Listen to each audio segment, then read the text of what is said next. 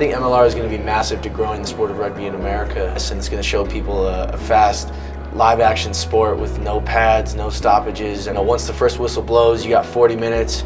full paced, full contact, um, and you're going to see athletes not only playing uh, for their teams, but playing out of the love of the sport.